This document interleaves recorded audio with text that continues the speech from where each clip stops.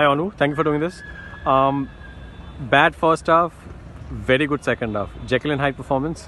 Yes, yes. Uh, we know that the first half it was very bad, and the coach pushed us in the in the dressing room, and I think that second half we deserve to win. Um, obviously, since you've come here, you've, you can't stop scoring goals. Uh, how satisfied are you with your personal performance of late? But uh, today I'm happy because because we win. But uh, the other days I scored, but uh, no no get points. So I think I have uh, to to help my teammates with work and with goals. And today is a good day because we win. Uh, you go up to the fifth position, two points behind Mumbai. They have one game. They're playing Chennai. Very very tight. How tight do you think this top four race is gonna be?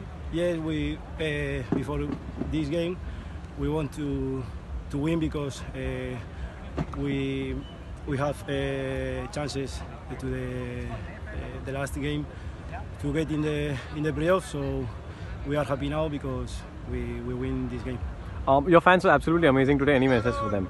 Yes, yes, yes. We have a, a lot of support, and uh, in Kalinga we have to, to be strong, and we have to to get three points.